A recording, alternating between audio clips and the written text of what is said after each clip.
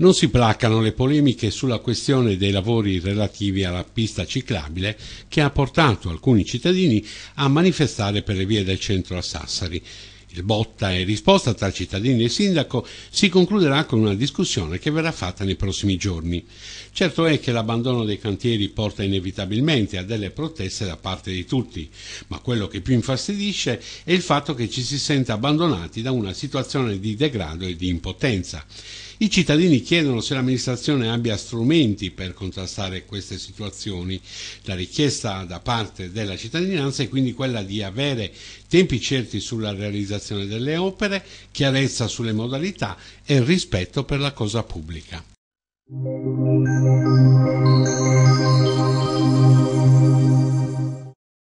È durata soltanto qualche giorno la latitanza di Davide Matta, detenuto nel carcere di Bancali, che i carabinieri della compagnia di Sassari hanno riconosciuto e tratto in arresto ieri mattina in via Verona. Davide Matta era stato dichiarato ufficialmente in stato di evasione lo scorso 10 giugno, dopo che non aveva fatto rientro nell'istituto penitenziario dopo un permesso. Al detenuto era stato infatti concesso dal magistrato di sorveglianza di Sassari un permesso premio di due giorni per andare a trovare l'anziana madre che risiede nel comune di Siliqua, con scadenza appunto nel pomeriggio pomeriggio del 10 giugno. Trascorsa qualche ora dal termine ultimo fissato per il rientro e accertato che non vi fossero cause terze a giustificare il ritardo, è scattato immediatamente l'allarme con la comunicazione di evasione a tutti gli uffici di pulizia e l'inoltro della foto segnaletica dell'evaso che considerati i numerosi precedenti a suo carico, tra i quali un tentato omicidio e diverse rapine, era da considerarsi pericoloso. Le tempestive ricerche messe in campo dai militari dell'arma hanno consentito di evitare che il fuggitivo potesse commettere altri reati o darsi alla latitanza anche fuori fuori dall'isola. Per lui sono infatti scattate per l'ennesima volta le manette e, ultimate le formalità di rito, è stato subito trasferito nel carcere di Bancali.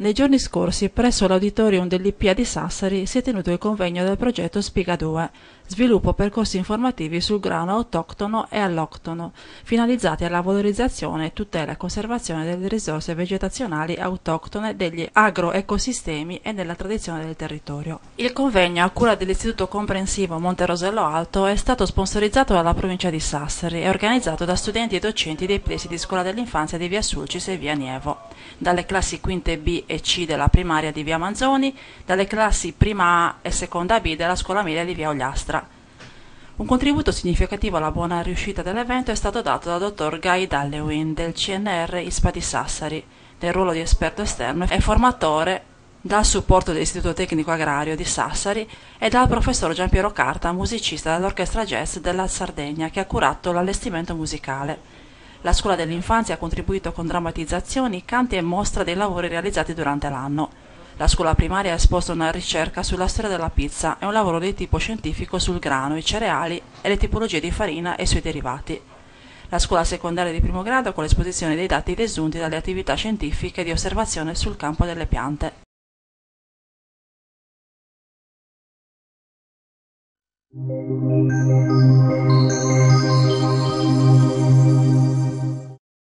Anche quest'anno il Rotary Club Sassari Nord ha organizzato in collaborazione con l'Avis delle giornate dedicate alla promozione della cultura della donazione del sangue. Nell'ambito della quarta edizione del progetto Rubium, ormai in fase di conclusione, si sono organizzate quattro giornate con l'autoemoteca dell'Avis all'emiciclo Garibaldi, l'ultima delle quali sarà sabato prossimo 18 giugno, dalle 8 alle ore 12. Il progetto Rubium Doniamo di Cuore si prefigge di coinvolgere sempre più persone nella pratica della donazione, quale segno concreto di solidarietà e partecipazione ai problemi sociali quale quello della carenza del sangue che affligge il nostro territorio. A tale proposito il Rotary sostiene l'iniziativa intrapresa dall'ingegner Nicola Melis lo scorso primo giugno il Cammino Cento Torri, ovvero una sorta di cammino di Santiago, tutto sardo di circa 1200 km, che ha come obiettivo percorrere a piedi tutto il perimetro della Sardegna senza mai allontanarsi dalla costa in un percorso circolare che si snoda tra spiagge, foreste e stagni. Durante questo cammino l'ingegner Melis verrà accolto da delegazioni Avis con le quali promuoverà la donazione del sangue, essendo egli stesso un donatore Avis.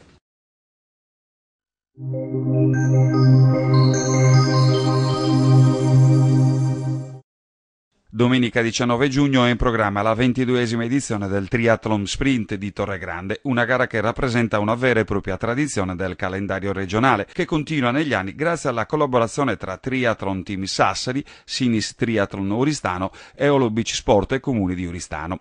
A Torre Grande arriveranno oltre 200 atleti, di cui 140 uomini e 30 donne, nella gara su distanza sprint.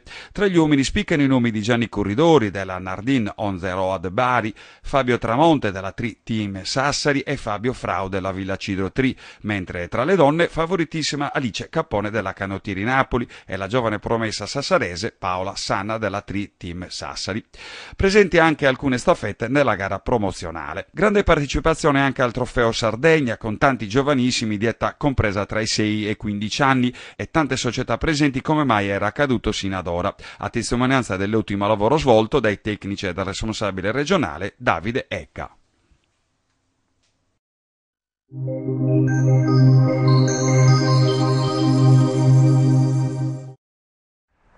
Amici di TeleG, benvenuti a questo spazio dedicato alla Torres. Oggi non stiamo a parlare di cose positive, anzi decisamente di cose negative.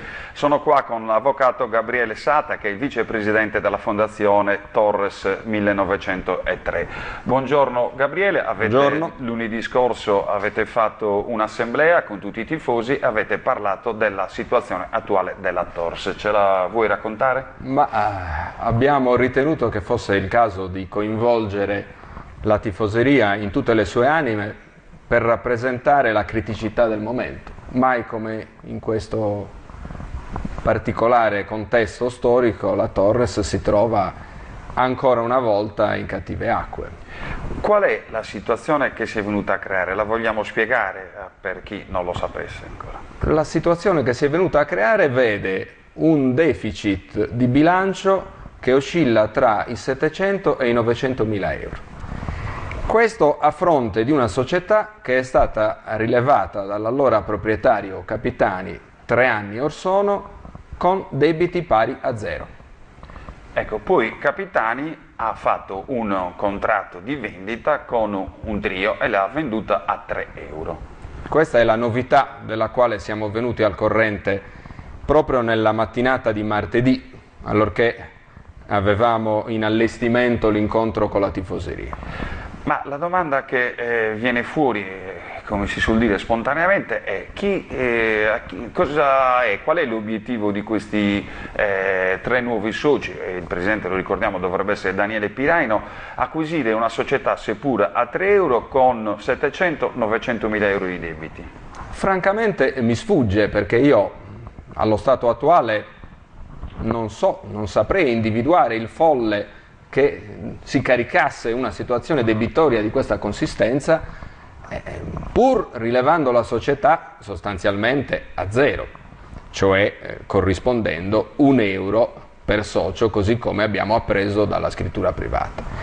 Pur accreditando questi signori della buona volontà di portare avanti la baracca, io non credo che siano in grado di farlo in queste condizioni e onestamente non vedo vie d'uscita perché il passivo è talmente pesante ed è destinato ineluttabilmente a crescere e a portarsi appresso anche verosimilmente un fardello di sanzioni eh, sul piano sportivo, perché ricordo a chi ci ascolta che eh, risultano pendenze con atleti della stagione appena conclusa. E questi sono punti di penalizzazione. E risultano pendenze con atleti della stagione precedente, il che ovviamente comporta ulteriori punti di penalizzazione nella stagione a venire, qualunque eh, categoria ci vedrà impegnati. Quindi io onestamente eh, non riesco a capire quale sia né l'obiettivo né soprattutto la linea di navigazione di questa nuova Anche proprietà. perché diciamocelo chiaramente, non è che eh, Daniele Piraino e soci abbiano un portafogli così ampio, così grande, non si sa mai, eh, uno i conti in tasca agli Io, altri esatto. non li può fare, però così sembrerebbe che non ce l'abbia. Io, la disponibilità economica. In tutta da... franchezza non credo che siano in grado di poter gestire una società così onerosa con un fardello così pesante. Avete eh, lanciato una petizione, una raccolta di firme perché? Abbiamo lanciato una petizione con una raccolta di firme sia online sia eh, su documenti cartacei perché siamo stanchi di questa situazione. Noi non vogliamo che la Torres rimanga ostaggio di proprietà eh, poco trasparenti, di proprietà che non hanno dei programmi chiari, che non ci indicano che cosa vogliono fare né a breve né a medio né a lungo termine, purtroppo. La petizione serve e a che cosa serve? La petizione è da un lato uno strumento per eh, raccogliere eh, la sensibilità del popolo torresino, cioè per tastare il polso della tifoseria tutta e questo ci ha già fatto capire in poche ore che è partita eh, sui social eh, e eh, sui, nei punti di raccolta eh, preposti, ci ha fatto capire che la gente è stanca, è stanca di questo stato di cose e vuole che si dia una svolta netta e ci ha in qualche modo delegato, affidato il compito di rappresentare tutta diciamo, la categoria degli appassionati rossoblù. Avvocato Gabriele Satta, per concludere, possiamo provare a pensare in positivo. Eh, secondo voi, ma secondo anche il popolo torresino, quale sarebbe la soluzione migliore? Eh, la domanda non ha una risposta univoca e non ha soprattutto una risposta semplice.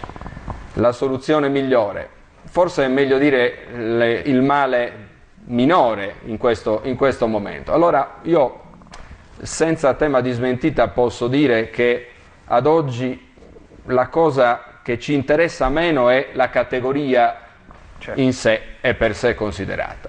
A noi interessa che si possa ripartire magari anche dal basso, sperando che non, sia, che non siano gli inferi della seconda categoria, ma ripartire dal basso con persone serie, affidabili, con un progetto che possa dirsi tale perché questa società, questa città, questa gente non merita l'abisso nel quale è stata fatta sprofondare. Sì, ma queste persone ci sono poi.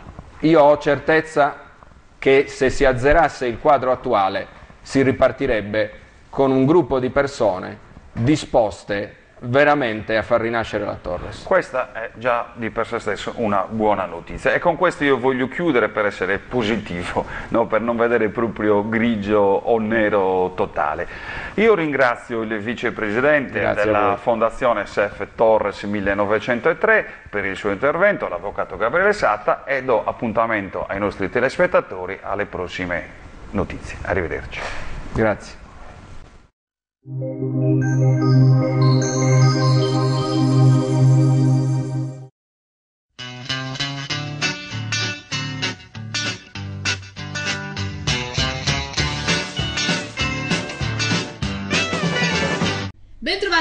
Oggi con un nuovo appuntamento di Telegin Radio. Prima di cominciare, come sempre, vi ricordo i nostri contatti: lo 079 26 11 50 se volete chiamarci, info teleg.tv se volete invece mandarci una mail. Per vedere l'archivio dei notiziari e il notiziario quotidiano, vi invito a visionare il nostro sito che è www.teleg.tv e la nostra pagina Facebook dove troverete il notiziario e le anticipazioni che poi troverete di giorno in giorno approfondite appunto sul notiziario giudiziario. Al via in città la lotta alle zanzare che con la bella stagione fanno sentire la loro fastidiosa presenza. Nei giorni scorsi è partito il programma di trattamento antilarve organizzato dal settore ambiente del comune di Sassari in collaborazione con la Multis. Nei tombini, sia in quelli dove l'acqua è stagnante che in quelli asciutti, gli operai della Multis stanno posizionando compresse effervescenti di insetticida. La frequenza del trattamento in ciascun tombino è di 14 giorni. Inoltre, nei giorni scorsi in Viale Caprera, Viale San Francesco, Viale Umberto, Via Sette Fratelli, Via Lubina e Via Ortobene, a Sant'Orsola, sono stati effettuati i trattamenti contro gli affidi dei tigli. Gli alberi sono particolarmente colpiti da questi parassiti che producono una grande quantità di sostanza zuccherina che imbratta la vegetazione e gocciola al suolo, creando disagi nelle vie dove il tiglio è presente. La sinergia tra il comune di Sassari e la Multis ha l'obiettivo di migliorare ulteriormente i servizi al cittadino. La società ha messo a disposizione del settore ambiente un nuovo portale nel quale inserire le segnalazioni che prevedono interventi per eliminare la presenza di insetti come blatte, zecche e pulci, nonché le colonie di ratti nonché le colonne di ratti, scusate. I tecnici del settore ambiente inseriscono giornalmente le segnalazioni, le quali vengono prese in carico dalla Multis e programmate in tempi brevissimi. Il comune di Sassari è il primo a utilizzare questo nuovo strumento che va a sostituire l'invio di fax o email, assicurando una procedura più snella ed efficiente. Dal settore ambiente ricordano che i canali di comunicazione attivi con i cittadini numero verde 800 012572 oppure le mail ambiente chiocciolacomune.sassari.it la pagina Facebook ufficiale dell'amministrazione e URP possono essere utilizzati anche per segnalazioni in merito a interventi di disinfestazioni e deratizzazioni. Ripeto il numero verde è 8000 12572 questo era il comunicato del comune. A me non resta che salutarvi e ringraziarvi per averci scelto anche oggi. Ricordarvi naturalmente che con Telegin Radio l'appuntamento è rinnovato alla prossima. Ciao e grazie.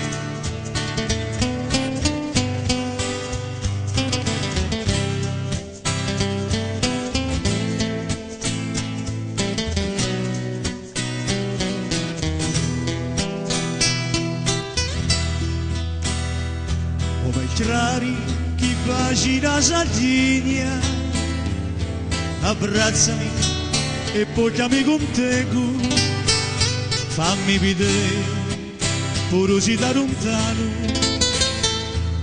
L'ultima parata di ricantareri fammi intendere lo suono di tamburo. Lo pipparo la banda musicale ti fai prime lacrime di pianto parli cacci in tutta la città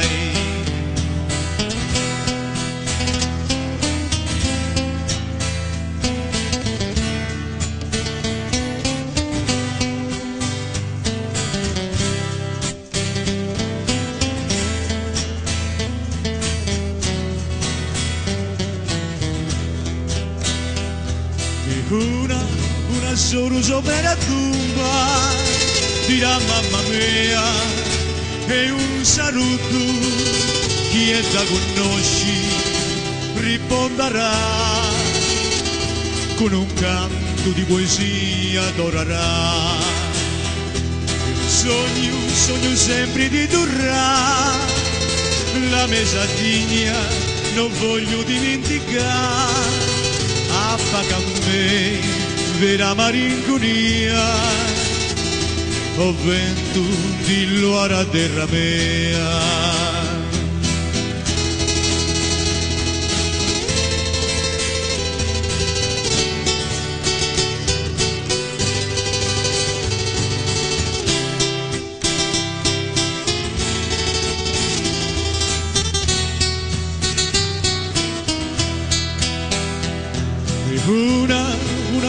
sopra la tumba dirà mamma mia e un saluto. Chi è da conosci risponderà con un canto di poesia adorerà. Io sogno, sogno sempre di durrà la mia Sardegna non voglio dimenticare appaga a me gira marinconia o vento di luara derramei